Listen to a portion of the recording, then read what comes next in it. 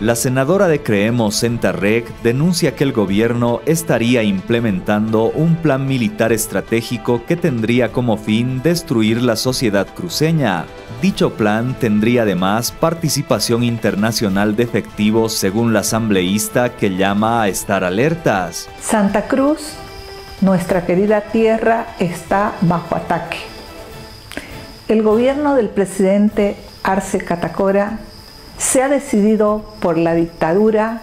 por el sometimiento de Bolivia y por la opresión y por lo tanto está implementando un plan estratégico, un plan militar concebido por estrategas internacionales para destruir nuestra sociedad, para destruir a los cruceños que se manifiestan en el momento como el bastión de la lucha por la democracia y por la libertad. El mencionado plan estratégico habría iniciado una vez finalizado el paro, según Centarreg, a manera de venganza del gobierno contra quienes encabezaron la lucha por el censo. Después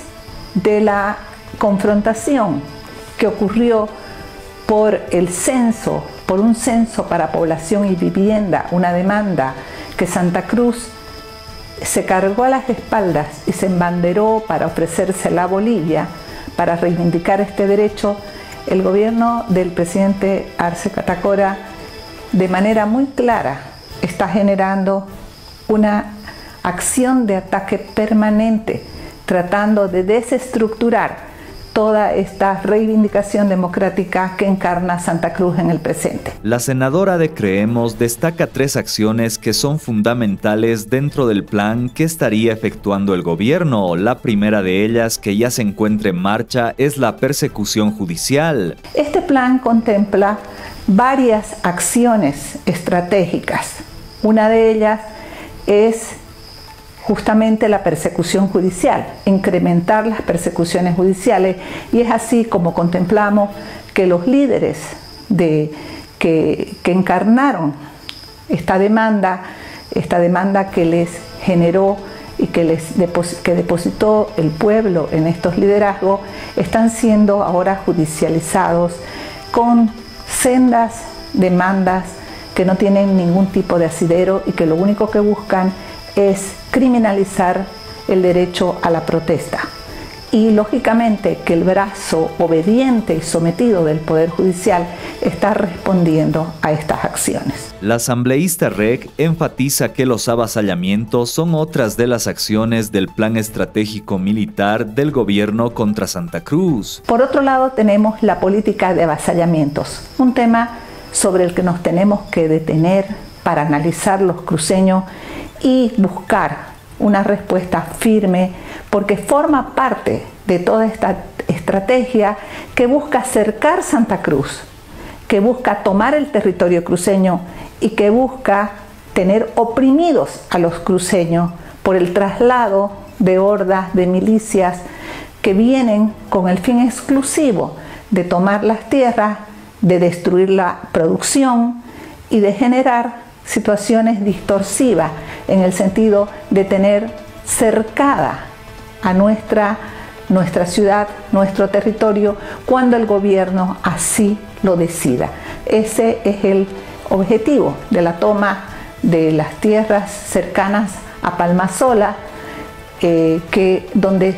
tenemos los acuíferos que abastecen de agua al 60% de la población cruceña, un lugar estratégico que pretende ser tomado por milicias masistas que estarían a las órdenes para poder generar todo tipo de cercos, de desmanes, de situaciones eh,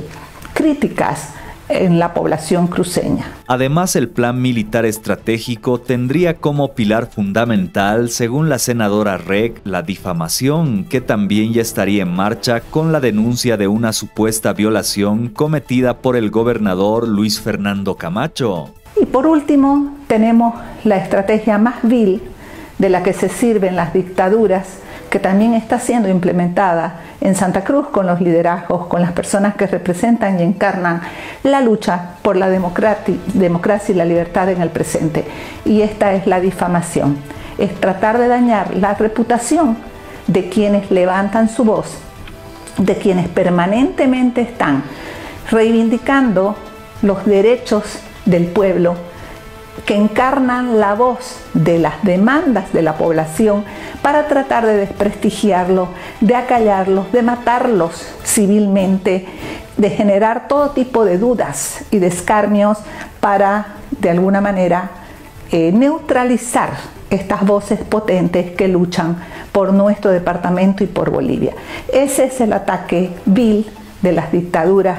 más terribles del planeta y está siendo objeto en el presente el gobernador el gobernador que está teniendo que resistir a un ataque artero en este sentido porque justamente se da en momentos en que ha sido parte de esta lucha por todo lo que representa en la reivindicación de los derechos de la libertad y de la democracia. Yo personalmente también he sido víctima de esos ataques, sin ningún tipo de fundamento, sin indicaciones que no responden en absoluto a ninguna posibilidad de veracidad. Y definitivamente el único afán que revisten es el desprestigio. Los cruceños debemos estar prevenidos contra este cerco, contra este ataque, esta guerra que se está generando contra nuestro departamento por encarnar la voz democrática de Bolivia y la voz que se atreve a desafiar al poder. Y no debemos ser carne fácil ni vehículo de este tipo de distorsiones. Tenemos que pensar muy seriamente en el papel que nos toca cumplir en el presente, en la hidalguía, en la responsabilidad, en el respeto que tenemos que tener por los liderazgos y nuestras instituciones y en la capacidad de ser firmes, de ser valientes y de no caer en este tipo de trampas, sino más bien encarnar este ejército de bolivianos, de cruceños que siguen resistiendo a la dictadura.